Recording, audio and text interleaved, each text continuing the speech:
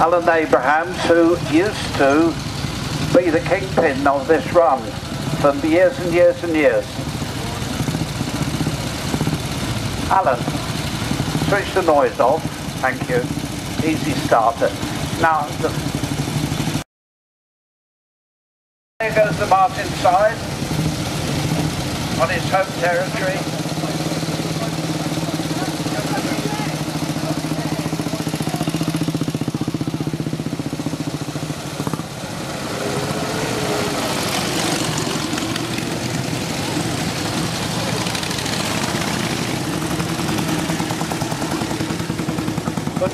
Bill. Nice, nice morning.